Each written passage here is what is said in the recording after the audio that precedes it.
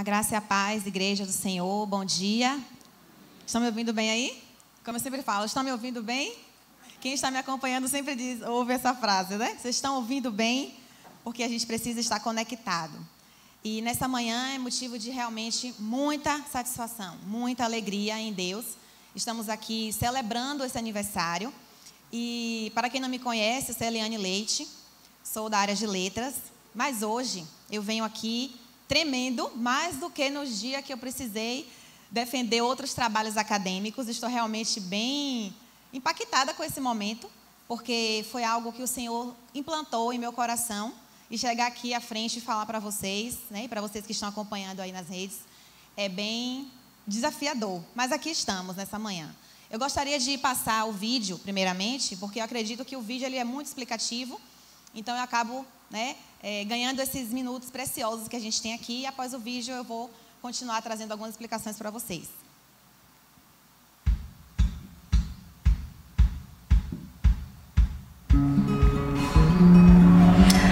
Olá, eu gostaria de falar com você hoje um pouco a respeito de um livro muito especial. É o meu primeiro livro, Abandonos no Silêncio, Cuidando do Chamado de Deus. Eu queria contar para você um pouquinho da história desse livro.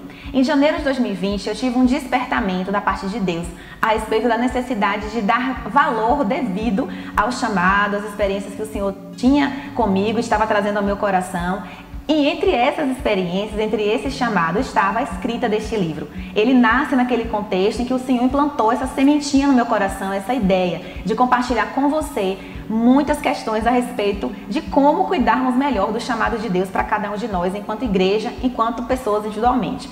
Mas em setembro de 2020, eu tive um impacto ainda maior, quando lá na página Livros Abertos, eu tive a oportunidade de conversar com um amigo missionário, Sandro Rocha, a respeito das dificuldades que as pessoas enfrentam lá, por exemplo, na China, que é o país que ele atuou como missionário durante muitos anos, para acessar livremente a Bíblia enquanto instrumento de leitura, instrumento de aprendizado e de edificação em Deus.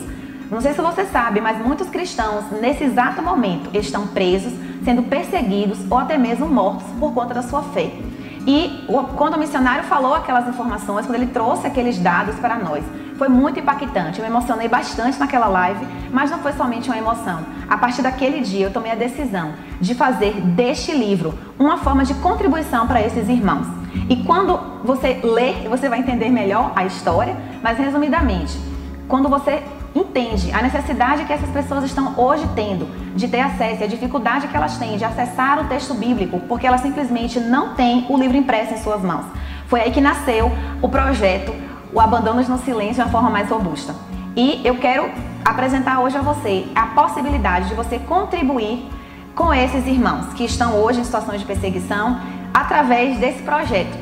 Quando você adquirir esse livro, você vai estar contribuindo diretamente com esses irmãos, porque todos os recursos vão ser destinados a contribuir com esses projetos que enviam não somente Bíblias, mas também material literário para a edificação e para o treinamento desses líderes, desses irmãos em Cristo que estão em perseguição, em situações de perseguição.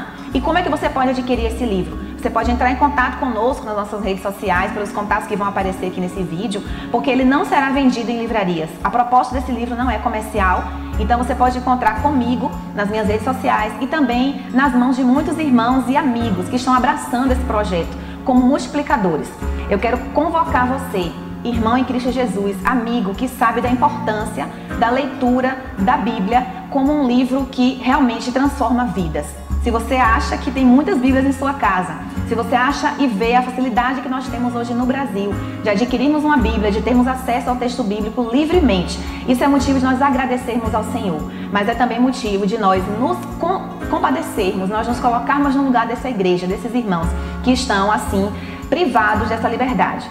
O desafio que eu faço para você é: venha, vista a camisa e vamos investir os nossos recursos, vamos investir o nosso tempo em abençoar vidas ainda que seja uma gotinha no oceano, mas você pode fazer porque você vai estar fazendo para a glória de Deus e para a bênção e para a edificação de muitos irmãos em Cristo Jesus.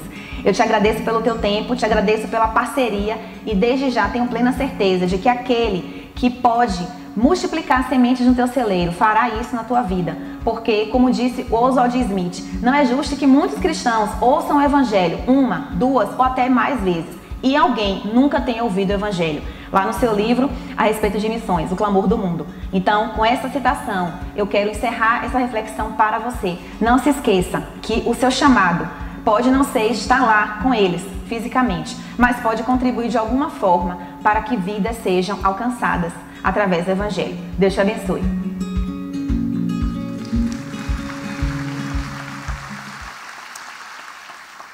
Amém. Então, o que, né?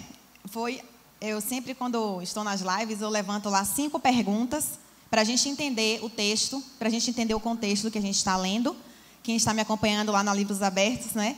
Tem visto sempre que a gente começa pensando nos livros bíblicos ou até mesmo em qualquer livro com essas perguntas, né? Isso é perfil mesmo de quem é da área de letras. Para a gente entender o texto, a gente precisa também pensar no contexto. Eu quero te explicar em rápidas palavras mais um pouco esse contexto desse lançamento hoje.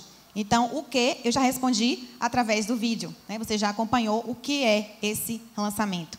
Agora, o porquê de ter lançado aqui nesse momento desse aniversário da igreja. Né? Eu poderia ter escolhido um lugar é, pessoal, particular, um ambiente mais acadêmico, mas eu optei em fazer aqui nesse dia como um presente para a igreja, né? um tributo ao Senhor e um presente à igreja que está aniversariando. Como presentear as pessoas? E aí eu fico sempre pensando, eu gosto de dar presentes criativos às pessoas, presentes diferentes.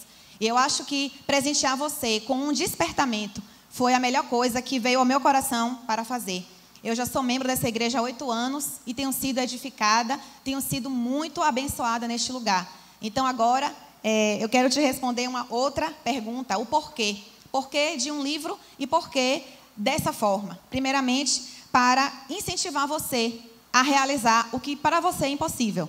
Quantas pessoas aqui talvez tenham desejo de lançar um livro, tenham desejo de escrever alguma coisa ou de fazer coisas que para na sua cabeça, para você, é impossível. Então eu venho aqui como uma, uma forma de incentivar você. Traga isso à tona. Coloque como objetivo diante de Deus e Ele pode realizar para você. Para mim, não era um objetivo até dois anos atrás. Mas aqui estou, o Senhor colocou no meu coração e já está concretizado para a glória de Deus. Então, primeiro objetivo é esse, te incentivar a fazer isso. E o segundo objetivo é semear no reino de Deus, com esse foco missionário através de coisas que você pode fazer. Às vezes nós nos colocamos como, ah, eu não posso estar longe, eu não posso fazer mais para missões, mas você pode fazer com o que você sabe, com o que você tem. E o como, né? Como esse processo aconteceu, como esse projeto está vindo à tona, coletivamente. Eu também poderia, né? assim como a minha defesa de mestrado, a minha defesa de doutorado aconteceu de forma individual, fui eu que sentei, fui eu que me dediquei na dependência de Deus e fiz. Mas esse foi diferente. O Senhor colocou no meu coração desde o início, todas as etapas foram coletivas. A primeira etapa foi escrita em 2020 através de um projeto da Rede Insana, que é um projeto de um grupo de, de irmãos lá de Brasília. Eles estão, têm um projeto maravilhoso online, eu te convido até a acompanhar nas redes. E eles escrevem, eles desafiam você a escrever um livro em 42 dias. Eu disse, meu Deus, um livro em 42 dias? E sim, aconteceu dessa forma. Então, coletivamente, esse livro veio à tona. Coletivamente também a segunda etapa veio, que foi a vaquinha online. Muitas pessoas aqui contribuíram e eu disse, meu Deus, como é isso? Vaquinha online. Na verdade, foi uma estratégia de pré-venda do livro e muitas pessoas abraçaram. Pessoas que eu não conheço, pessoas que chegavam lá e contribuíam anonimamente. Isso me deixou realmente impactada com a forma como o Senhor mobilizou pessoas para esse projeto acontecer.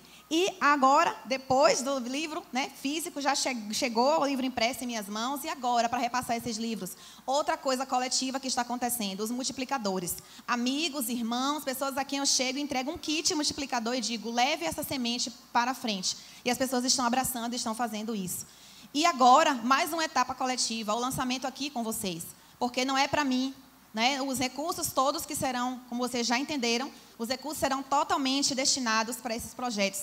E aí, é exemplo de projetos da missão, missão Portas Abertas, que é muito conhecido, né? Aqui vocês já devem ter essa ciência. E para quê? Para quê? Para a gente chegar à penúltima, pergunta. Para quê? Para que você entenda que você pode fazer missões com o que você tem, com o que você sabe e onde você está. Não precisa você se limitar, porque diante do Senhor não existem desculpas. Existem apenas explicações, né? E Ele sabe as nossas explicações e eu estou aqui para te dizer: você pode, você pode fazer muito mais. Isso aqui é só uma gotinha no oceano. Como eu cheguei ao pastor e disse: Pastor, é uma gota no oceano. Mas ele falou: é o que você vai fazer, é o que você pode fazer. E por último, para quem? Para quem é esse projeto? É para Eliane Leite? É para a Igreja Batista Central? Não. É para o Senhor, é para o reino. Porque dele, por ele e para ele são todas as coisas. Glória, pois, a ele. Mas ele amou o mundo de tal maneira.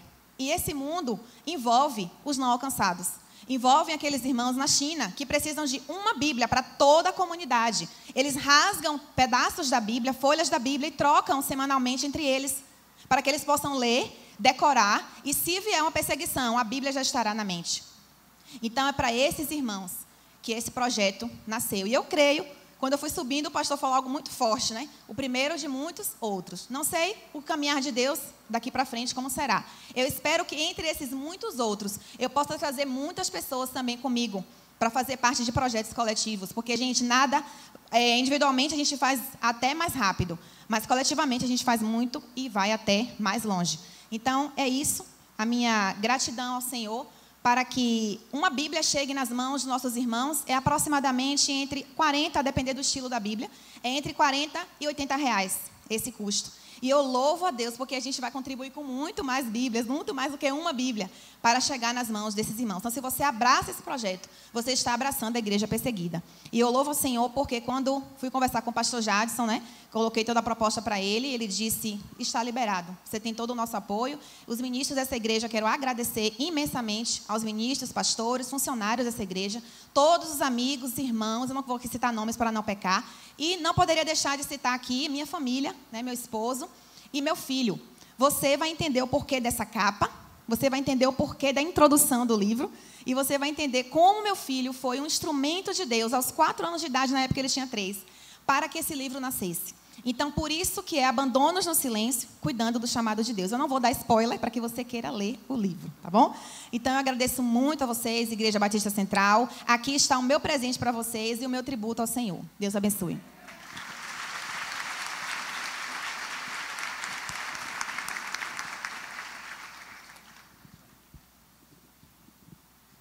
Pastor Marcos, já pode vir, nós vamos orar apresentando mais uma vez esse material. Vai ser bênção na vida de muita gente. Pai Santo, nós queremos te agradecer pela disponibilidade, instrumentalidade da tua filha. E queremos pedir ao Senhor que tudo que está aqui possa ir longe mas de uma forma especial também possa ir profundo a todos aqueles que tiverem acesso a essa leitura.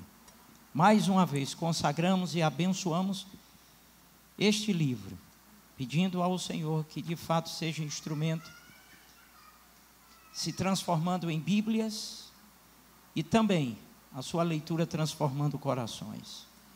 Muito obrigado. Apresentamos nesta manhã de uma forma especial a vida de Estezinha, Senhor. Onde ela está agora no hospital, pedimos a tua intervenção, lhe dê saúde, repreendemos toda enfermidade, toda enfermidade agora. E que Esther receba alta hoje por causa da cura recebida, em nome de Jesus. Lhe abençoe, lhe abençoe. Repreendemos, repreendemos toda febre Repreendemos, ó Deus, tudo aquilo que está incomodando a, a tua filhinha, aquela criança. Oramos, certos de que o Senhor está ali agora, ministrando cura em nome de Jesus. Amém e amém. Parabéns, estamos juntos.